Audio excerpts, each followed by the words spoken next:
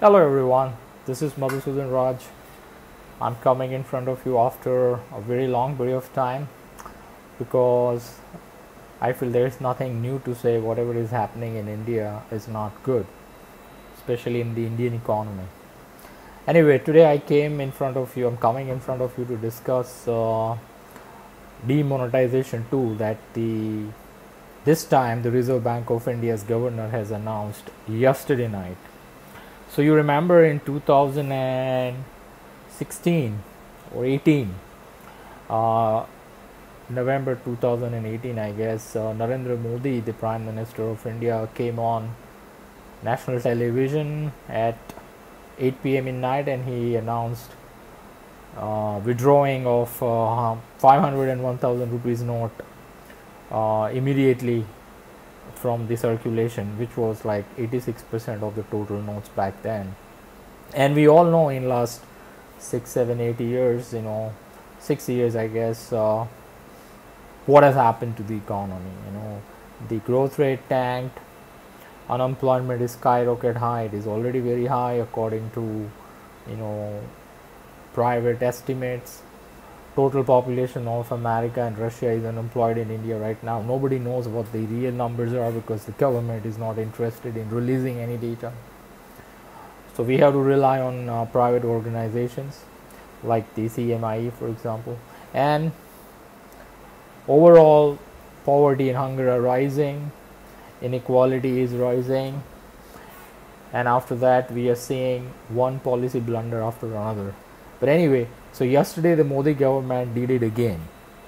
This time they announced, the RBI announced uh, that they are going to withdraw the 2000 rupees note from the circulation. Uh, now the RBI's order is very ambiguous.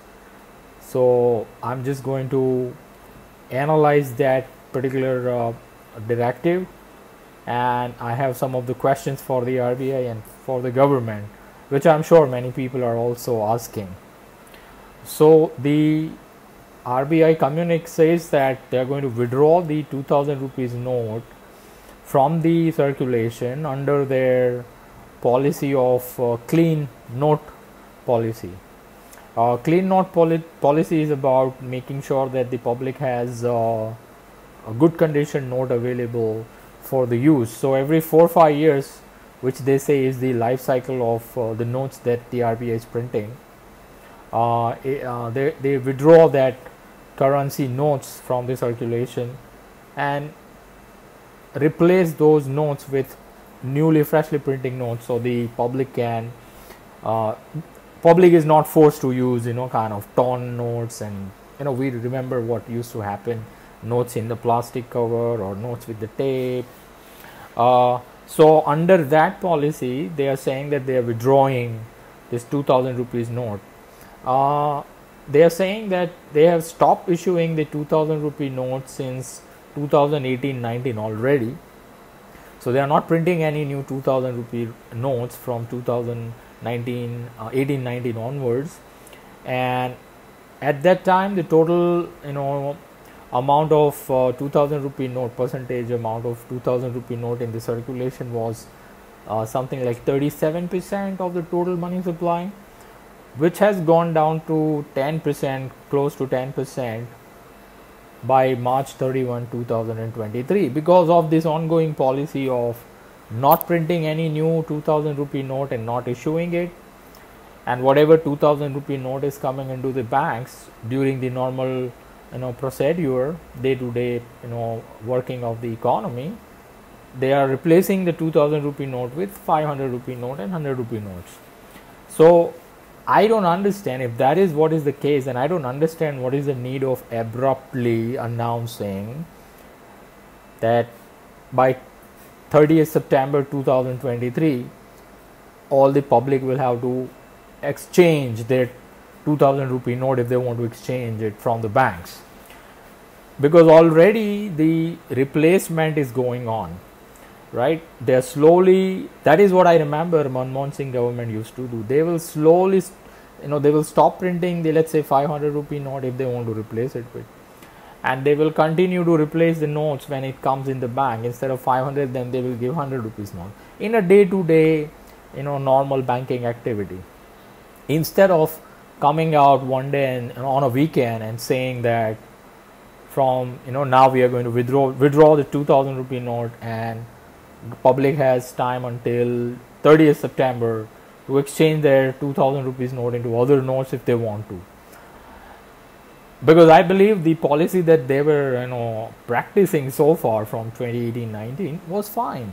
There is no need to put the public in the panic mode because you have to understand that such announcement after what happened in 2018 during demonetization one the public is already alarmed and public is already alarmed by this policy you know gaps of Modi government because this government is known for giving all kind of shocks to people so people are always alarmed, you know, and and we, and we say in Gujarati, you know, dudno dajelo chashpan fuki fuki ne. It means when you are born by milk, you are also going to, you know, blow air to cool the buttermilk. Buttermilk is already cool. No need to do that. So people are already, you know, the panic is already heightened, and again they are announcing like this on a weekend. Uh, yesterday was Saturday, banks were closed, I guess. Today is Sunday, banks are definitely closed. So we have to see what is going to happen on Monday because nobody is going to believe anything. First of all, the communique is very confusing. So on one side, they are saying that they are withdrawing the 2000 rupee note, and public has time until 20 uh, 30th September 2023 to exchange their notes, uh, 2000 rupee notes. That also in a limit, one time limit of 20,000 rupees only. So only 10 2000 rupees note you can exchange from the bank uh, until 30th September 2023. But and again when you go to exchange your notes you have to fill different kind of forms and give different kind of information i don't know what kind of forms we will have to fill and all the other kyc and other norms are going to be applicable. And after that only they will give you you know 2000 rupee note exchange of only worth 20000 rupees. So suppose you have 1 lakh rupee you do you have to go i mean you have to go to bank for 10 times? That's gonna waste so much of people's time. That's going to you know create a lot of problem and chaos. But again as i'm saying then what is the need? And then they are saying that uh, even after that the 2000 rupee note will continue to be a legal tender now if it is going to be a legal tender then what is the no, you know, need of exchanging it? And what is the meaning of withdrawing the note? Withdrawing you already withdrawn the note uh, withdrew the note in 2018-19 because they've stopped printing money from 2018-19, 2000 rupee note. That means they are withdrawing the currency slowly the notes so then they, there was no need to announce this policy. Just continue to do that until all the 2000 rupee notes is withdrawn from the circulation. And you don't even have to tell anybody that we are withdrawing the note. People will understand on their own that banks are not giving 2000 rupee notes anymore. Right when i go to bank for example and if i say i want 2000 rupee note the bank the teller can simply tell me that the government has stopped issuing 2000 rupee note and that is the reason why we don't have any. We don't have any problem. I don't need whether i'm going to get 2000 or 500 as long as i get my money back. Okay? So there was no need for this. Again if it is legal tender why should public go and exchange their note? Because if it is going to now my question is is it going to be legal tender even after 38th september? Or the government is going to one day come let's say after the 30 now because suppose if i have you know 2000 rupee note. I don't want to exchange it right now because if it is going to be legal tender even after uh, 30th september 2023 why should i go and exchange my notes? I will continue to use them in circulation because everybody is going to accept them. Because it continues to it remains a legal tender. Right? As the rbi is clearly saying in their communique and in the frequently asked question segment also. I will advise uh, the public to go and read this communique on RBI's website as well as the linked FAQ. Because once you read that, you will understand that it doesn't make any sense why they are announcing this policy right now. So why should I exchange the notes right now when it is going to be legal tender? Now the now the question that comes in my mind is that because this government is known for announcing surprising policy you know moves in a very shocking way are they going suppose i don't exchange my notes before september. Are they going to announce let's say in November that now 2000 rupees no longer legal tender? Are they going to shock the people and that is how they're going to cancel let's say 10% of the money supply in November so that maybe they can uh, like last time this can be used for money laundering but i don't know how it is going to be used for money laundering. If 2000 rupee note is no longer a legal tender then nobody will want it. And the bank will not take it back. You cannot use it in you know your day to day exchanges because it is, it is no longer a legal tender. And and I don't know whether the government is thinking about the effect of these kind of policies in future. Suppose if they announce that it's no longer legal tender, because we cannot trust them, you know, they broke our trust in 2018 when they promised, you know, even after the promise that the RBI governor gives that 500 rupees legal tender, they one day they came and they say it's no longer legal tender, and in, even after that they issued another five rupee note. But anyway, we are not discussing those things. Suppose if they announce in November that 2000 rupees note will no longer be a legal tender, then what will happen? Do they really think that if they you know cancel 10% of the money supply, nothing will happen to the economy? It will create a huge deflationary you know situation in the economy. If you cancel 10% of the money supply, right, the ensuing recession will be crazy, right? Now prices will fall and there will be so much of chaos and i know the government will panic and they will start pumping again maybe they will again say that oh we are not going to cancel it instead of 2000 we are going to issue 5000 rupee note.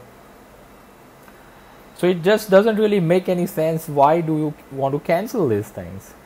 And i don't know what uh, you know objectives they want to achieve. If their policy is the clear note policy then there was no need to announce this thing. Just continue to replace the notes. And within five years, you know, six years time, over a period of time, like what Manmohan Singh government used to do, they they never used to announce all these things, but they will continue to replace. Suppose if there is old note, and that is what RBI is also saying that this policy is nothing new. In 2013-14, also that you know Manmohan Singh government did this, and I remember that, you know. Instead of the old 500 rupees note, they will issue a new 500 rupee note, and we can see that, but without any kind of creating any kind of panic and chaos. So these are all the questions in my mind. If is it going to be a legal is you know 2000 rupee note going to be a legal tender even after September 30 and what is the guarantee that they will not one day come and announce that 2000 rupee note is cancelled now? You cannot even use it. It is no longer a legal tender and and that is how they are going to you know withdraw 10% of the money supply. And do they really and have they really done their homework that what will happen to the economy when they withdraw 10% of the money supply abruptly like that the ensuing recession deflationary pressure will be horrible. That will you know completely devastate the economy which is already devastated.